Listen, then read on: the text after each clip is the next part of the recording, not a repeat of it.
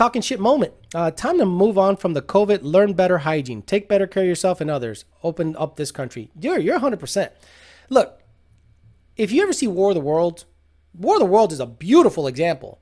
A beautiful example. Aliens come to this the, the Tom Cruise version, even the old version.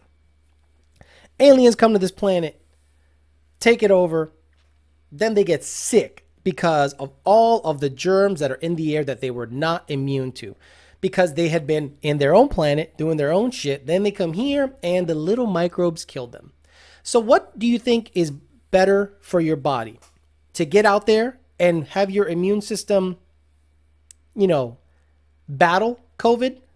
Not saying to go slick on everyone's face to get COVID. I'm saying if you mask yourself, you shun yourself from society, you wash your hands, then you go out into the world, are you less likely or more likely to have a deeper effect from COVID than not?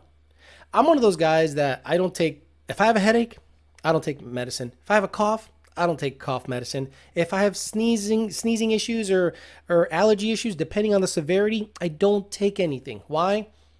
because I want my immune system to be strong as fuck. Because what happens when you're constantly pilling up? Your body's like, uh, if I get sick again, I ain't gonna fight it. I'm just expecting a pill to come from the top. And then you get sick, and the body's like, I ain't doing shit. I'm waiting for that Tylenol. I'm waiting for that Advil. I'm waiting for where there it is. Oh, there it is. Ah, fuck, we're good now or you could actually build up your immune system when if i had a kid and this is the problem this is probably why a reason i did not have children if i had a kid like go out there and play with all the other kids get sick kick them in the dirt get in the dirt get dirty. Mm, get over there. Get your immune system strong. You know because i want the dude to go out there and build up his immune system and be strong. But nowadays people are driving with masks in their cars gloves in their car in their cars in their cars. And then when they start taking that stuff off, who's going to get sick first?